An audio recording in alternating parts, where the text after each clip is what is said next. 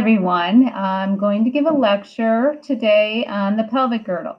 All right, but first, make sure that um, because I'm not here today, that you go through your first three columns here on your unit outline. All right, so you should make sure that you take out your unit outline and your papers for labeling. And you might want to pull up the PowerPoint as well. All right. Also, you will be look, watching all of the bone videos um, when you are done watching this video. And you will go through and with your skeletons and make sure you know the first three columns. So I'm going to zoom out a little bit.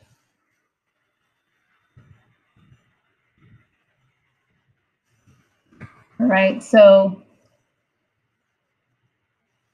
you have your first three columns that you have to be familiar with. So today, make sure that you review those. All right, so you can pause the video, you can review all of these. Um, definitely this third column is a little bit trickier than these. Let's start here with the shoulder girdle. Okay, your clavicle and your scapula, then move to the humerus. And then you're going to want to go um, to that radius, the ulna, and the hand. So really work on the, the carpus, the wrist, and the metacarpal. So make sure you know how they're labeled. All right, we're now going to go to the fourth column, and that's what today is about. So I want you to highlight we're moving to the pelvis. We're going to highlight the pelvis, the acetabulum, the ilium, and then the ilium is a bone that makes up the pelvis. And the two listed underneath, the ala and the iliac crest, those are markings that you have to know. And then I'm going to scroll, and you should be highlighting the greater sciatic notch, the iliac fossa, the ischium, the ischial spine, the lesser sciatic notch, the ischial tuberosity, and then onto the pubis, which is the third bone, the obturator foramen, and the pubic symphysis. So the three bones of the pelvis are the ilium, the ischium, and the pubis. They're the ones that are underlined. All right. And then on Tuesday next week, we are going to go over the lower limb. All right, and there will be an Edpuzzle that I that will open up at two o'clock. You'll be using Miss Laporte's Edpuzzle for um, this one. So you guys have this sheet, and so you can spend time time highlighting. And so if you want to work ahead, you can do that. But we will be introduced to the lower limb uh, next Tuesday.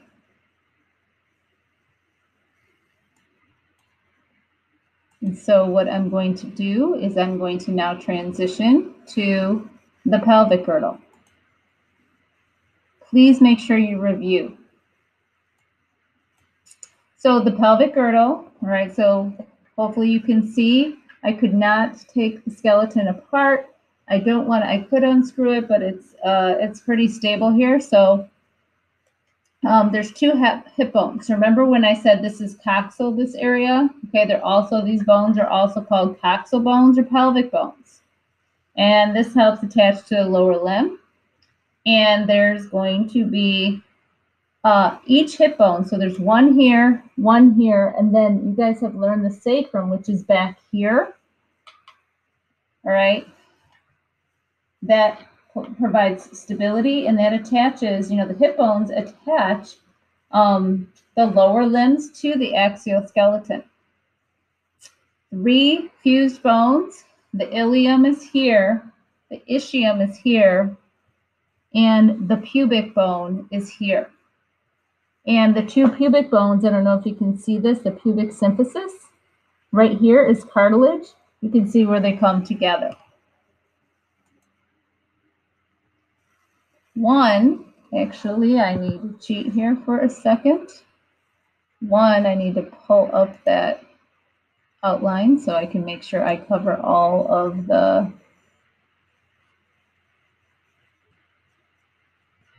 markings so I can look at the same time. The one major marking that you're going to have to be familiar with is the acetabulum.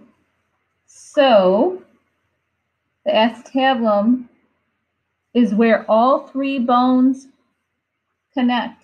Your ilium, your ischium, and the pubis over here. So this acetabulum right here is the socket, and it's always going to be on the lateral surface. surface. So you should find on your skeleton right now the acetabulum. The femur, which you can see right here, it articulates. It's a ball and socket joint, just like the shoulder joint. So the acetabulum is that marking, and you have to know that. Um, and it's where all three of the pelvic bones come together, and the head of the femur fits into the acetabulum. So here you can see it better on this diagram. Now this is the right hip bone, and if we were in school, you'd have these by themselves, and it does get tricky, you know, how to hold it. Well, one of the things that you can do is you can look for the acetabulum. The acetabulum is on the lateral side, so there's going to be one on each side. So this would be the right hip, this would be the left hip. Right, so that's one way that you can uh, look to know which side it is. It should never be medial. It's always lateral because that's where the femur, your thigh bone, comes and articulates with the acetabulum. So here you can see a better picture of the three bones. So here's the ilium. Ischium is more in the back. So I can show you this here. This is going to be the ischium, so you can see it down here. This is the ilium.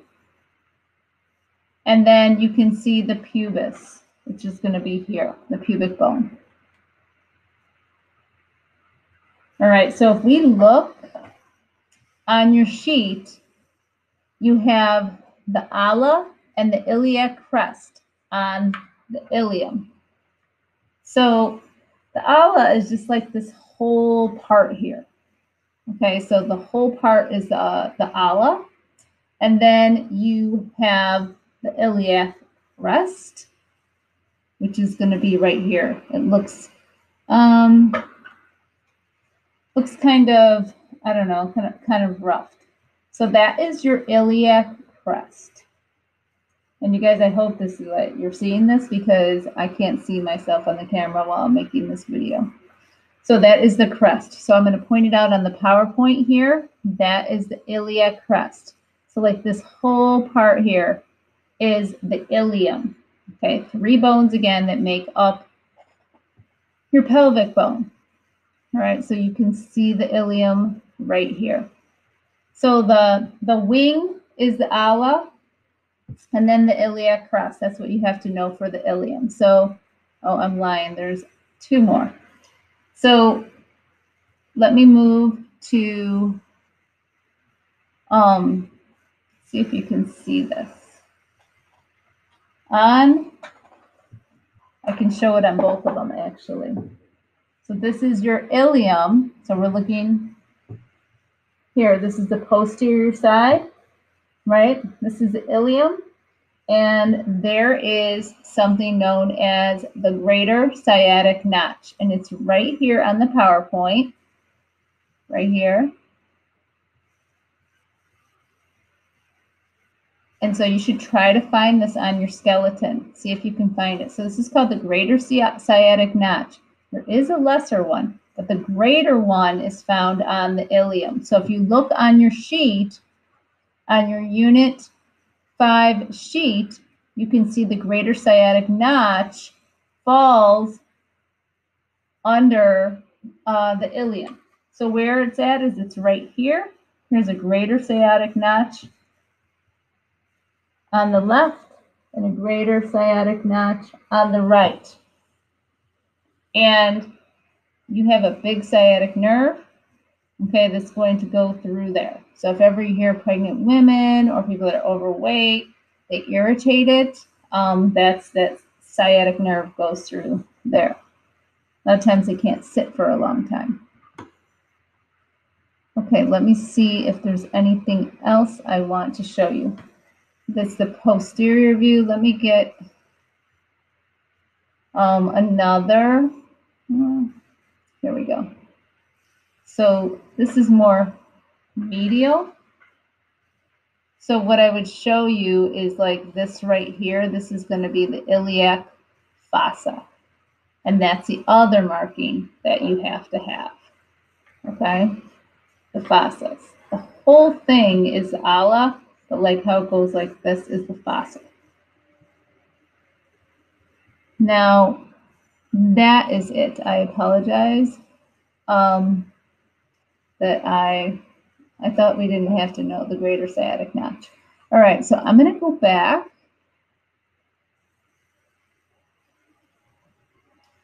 And the ischium.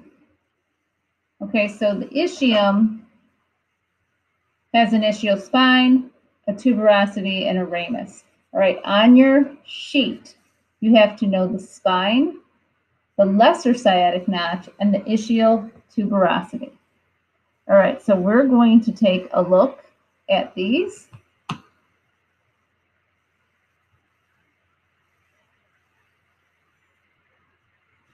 So hopefully we can see. This is that greater sciatic notch right here on the right and the left. That's the greater, that's on the ilium. Now the ischium is down here.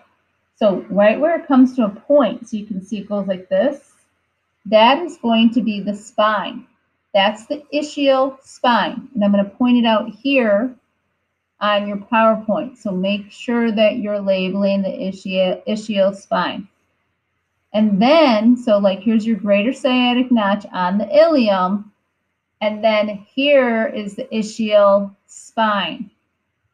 And then there's a smaller notch, and that's the lesser sciatic notch. So hopefully here you guys can see greater, greater sciatic notch, ischial spine, lesser lesser um, sciatic notch. Greater sciatic notch on the ilium. Now we get to the ischium. This is the ischial spine. Lesser sciatic notch. And then what you get is this rough part here. And this is of the ischium. And your ischium is like your butt bone. Okay, when you're sitting right now, you can feel the bone. That's your ischium. All right, so this is rough. It's a tuberosity. It's an ischial tuberosity, just like we had uh, a radial tuberosity. Remember the bump? And then we had the artibial tuberosity. So this is an ischial tuberosity right here. And so let's look at this again. Here's the greater sciatic notch. And you guys try these on your skeleton. So look on the posterior side.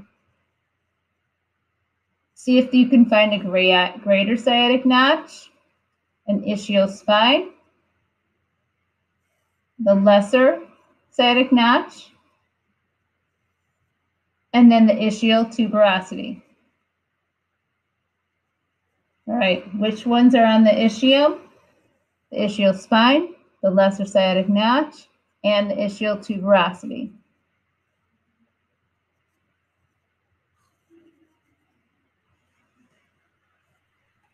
So if you follow that tuberosity around, you get to the pubic bone.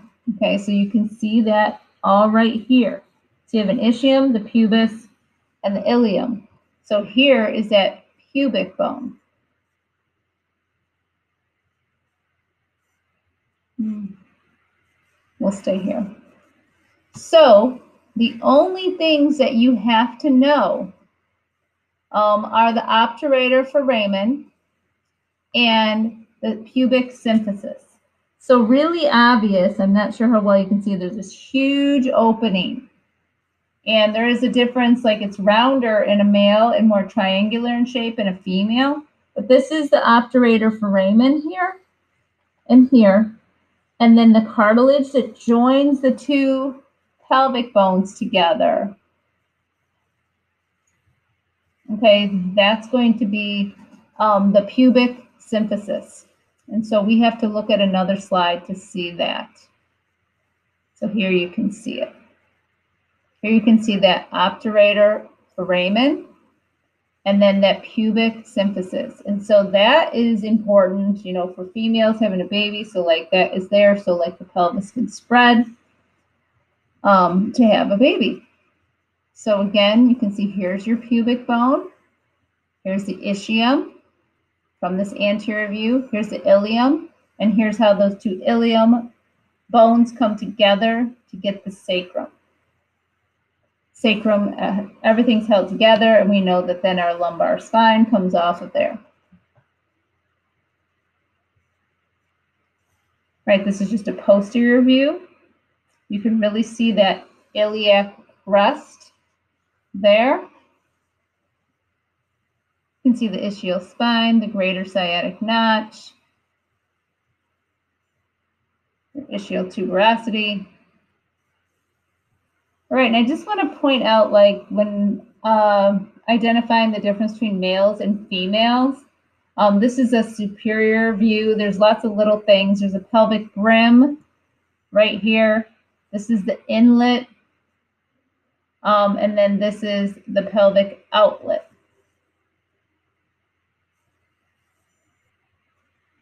And then we can look at like the, um, these are boundaries of the true uh, and the false uh, pelvis. But like the sacrum here is something, um, you know, to look at. So this is, you know, the pelvis here. And so these are just, you know, that was like we were looking through before. So this is inferior. So this is showing the outlet. But what I want to point out is like when you look to see if it's a female, you'll see that the iliums, it's like more uh, broader, smoother. Um, uh, it's shallower. Okay, very. this is iliac fossa, fossa. So like a lot of times you'll see this come up more, and it's at a female, it's very shallow.